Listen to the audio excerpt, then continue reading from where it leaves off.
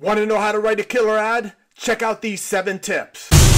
The headline. You want to have the name of the company, the name of the product, and then you want to talk about the unique benefits of your product versus other products. The body. Explain in more detail the benefits introduced in the headline. The close. So it solicits a buying action. It ends the ad and make sure it ties in with that headline. Graphics. The picture visually communicates the benefits of the product. Format. Make it easy for the busy or lazy readers to uh, read the made points without forcing them to read the whole ad. Signature. There's the name, the logo, and the slogan. Everything else. Color, the type you use, putting the wow in the communication so people say, wow, that's great. Check out the full video at my YouTube Bobby Borg channel.